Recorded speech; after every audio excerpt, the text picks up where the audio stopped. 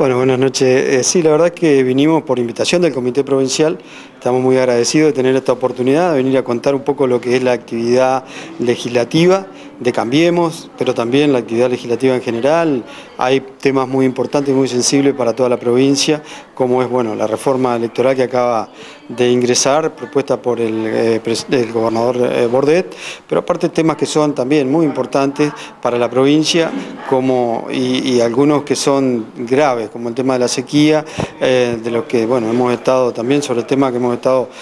involucrados, pidiendo informes, haciendo propuestas. Tenemos otros temas que son sumamente importante en la provincia y bueno, lo hemos venido a comentar este, al comité, a la reunión del comité departamental, así que muy contento de poder participar acá. ¿Han, podido leer algo de esto del proyecto de la reforma política que presentó el gobernador? Bueno, sí, muy por arriba, porque fue ingresado ayer, así que tenemos alguna, alguna idea, algunas cosas incluso ya las habíamos podido conversar con el propio gobernador, en mi caso, en un viaje que hicimos a Alemania, eh, en una misión, yo pude hablar con él y un poco la idea central es hacer un proyecto de ley similar al de Santa Fe, con un sistema de boleta similar al de Santa Fe. Eh, bueno, eh, tiene algunas cuestiones que, eh, en las que ya de por sí sabemos que vamos a estar de acuerdo, otras que van a ser seguramente, vamos a hacer alguna propuesta para modificar ese proyecto y sobre todo tenemos una posición muy firme nosotros en el sentido de pedirle al gobernador que no desdoble las elecciones en la provincia. Nos parece que es absolutamente innecesario en una provincia que el mismo gobernador ha reconocido que se la entregaron fundida, una provincia que se le complica cada vez más pagar las jubilaciones. Eh, nos parece que estar en un proceso electoral provincial que estimamos va a ser superior en el gasto a los 300 millones de pesos eh, y que vamos a estar por otro lado todo el año de campaña porque arrancaría la primera elección en abril y terminaríamos allá en octubre con la elección nacional, con el balotaje en noviembre seguramente. Entonces digo, todo el año discutiendo de campaña electoral, nos parece innecesario eso, pero también innecesario el gasto. No creemos, no creemos que sea conveniente el desdoblamiento, así que eso sí, se lo vamos a pedir al gobernador. Por lo demás, vamos a discutir, este, en principio, este, la, digamos, la esencia la compartimos al proyecto. Eh, ¿Ustedes creen que esto del desdoblamiento se debe quizás a que una cuestión estratégica meramente electoral del gobernador de la provincia, digamos, desdoblar la elección por ahí para evitar la atracción de votos de Macri eh, a nivel provincial para los candidatos de Cambiemos? Bueno, es evidentemente muy probable que una motivación de ese tipo, de esa naturaleza,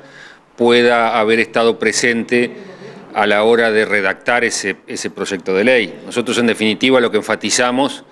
es que una reforma política, porque de eso se trata, es algo demasiado trascendente, demasiado relevante, como para quedar supeditado a eh, meros cálculos electorales o meras conveniencias en una coyuntura en el corto plazo de determinado gobierno o determinado candidato. Nosotros estamos apostando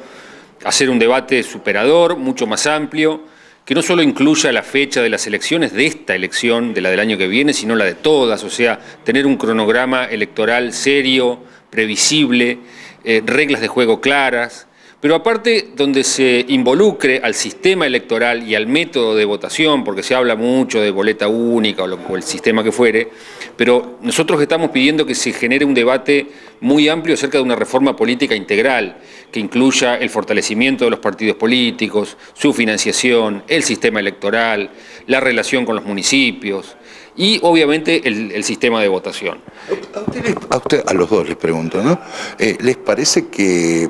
el gobernador Bordet demoró en reconocer el estado en que recibe la provincia de Entre Ríos. Totalmente, totalmente, y creo que todavía no se hace del todo cargo, porque dice me dejaron una provincia fundida, cuando en realidad lo que yo he dicho es que él debió haber dicho dejamos una provincia fundida. Él fue parte de los proyectos políticos anteriores que encabezó Sergio Uribarri. Es el, es el mismo partido, el peronismo, que gobierna desde hace muchos años y que, como él bien dice, dejó una provincia fundida. Y ha habido una suerte de, porque fue parte de este proceso, no reconocer el peso de la crisis, una provincia hipotecada, fundida, endeudada, el, presidente de la Caja de Jubilaciones, lo comentábamos recién, ha dicho en un diario paranaense que solamente la Caja de Jubilaciones tiene este año va a tener un déficit de 5 mil millones de pesos. O sea, estamos hablando de temas estructurales en los que la provincia de Entre Ríos evidentemente allá a más de dos años de gobierno no ha, no ha iniciado el gobernador Bordet los cambios, las reformas profundas que esta provincia necesita para salir adelante. Seguimos con una estructura tributaria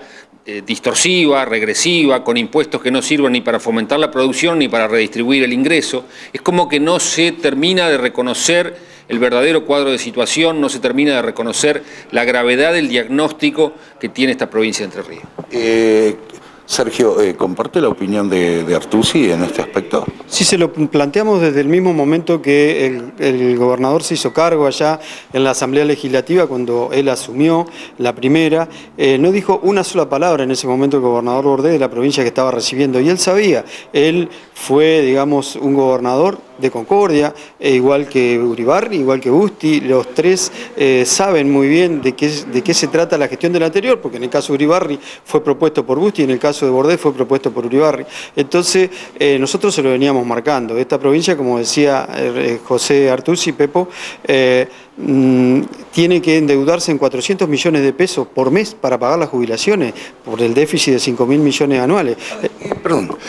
¿es cierto que hay un proyecto de armonización de la caja dando vuelta? No, lo que hay es un reclamo de la provincia para que la nación se haga cargo del déficit de la caja de jubilación. Lo que le dice la nación, y lo que le decía antes, porque antes,